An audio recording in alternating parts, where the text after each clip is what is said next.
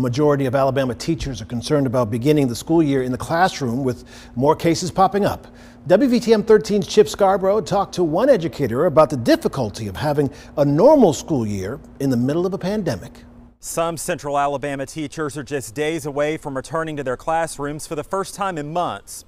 A new survey from the Alabama Education Association found nearly two thirds of the state's teachers don't feel comfortable teaching in their classrooms this fall. I think that's a very good and accurate description. That's what we're hearing from our members also. I think teachers have been left out of the process of back to school planning. Teachers are uneasy since it's not clear what measures will be taken to protect both teachers and students. They just don't feel that it is safe at this point. Part of Governor Kay Ivey's newly amended Safer at Home order includes the requirement of face masks in all schools and colleges for students in second grade and above.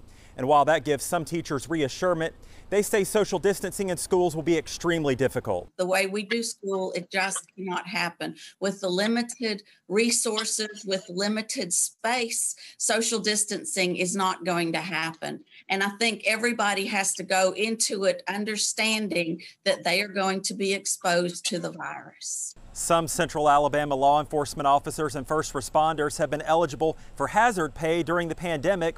Leaders with the Central Alabama American Federation of Teachers say they think teachers should be eligible for the same benefits. In Birmingham, Chip Scarborough, WVTM 13.